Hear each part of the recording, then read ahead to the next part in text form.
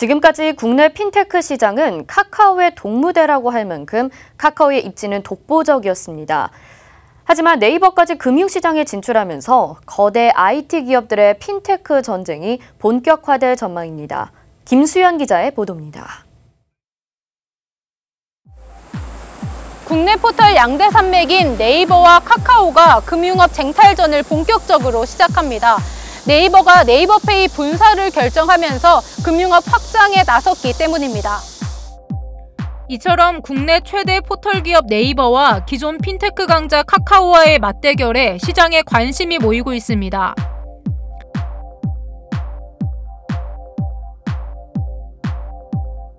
지난 24일 네이버는 현 간편결제 서비스인 네이버페이 사업 조직을 따로 분사해 일명 네이버 파이낸셜 주식회사라는 별도 자회사를 세운다고 선언했습니다. 신설법인은 오는 11월 1일 출범할 예정입니다. 네이버 파이낸셜 주식회사는 기존 간편결제 서비스는 물론 대출과 보험, 투자 등 주요 금융 서비스까지 제공하게 됩니다. 네이버 포털 회원 수와 월 천만 명 넘게 네이버 페이를 이용하는 고객이 가장 큰 무기입니다. 저희 결제자 수라든지 뭐 그런 데이터의 깊이는 타사가 갖지 못하는 것들인 거니까 네이버만의 경쟁력이라고는 볼 수 있겠죠. 신규 법인은 또 이러한 경험들을 금융 영역으로 보다 쉽고 재미있게 연결을 해서 그 테크피 시장에서 본격적인 흐름을 만들어 보고자 하는 게 목표입니다.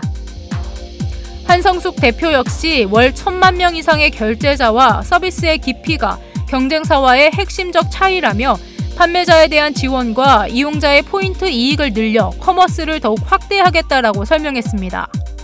특히 미래에셋그룹이 네이버 파이낸셜의 사업 초반에 필요한 자금 조달을 위해 5천억 원 이상을 투자하겠다고 밝히면서 또 한 번 시장의 주목을 끌었습니다. 미래에셋 그룹이 증권은 물론 보험, 캐피탈 등 다수 금융 계열사를 보유하고 있는 만큼 계열사 간 시너지 효과까지 기대되는 상황입니다.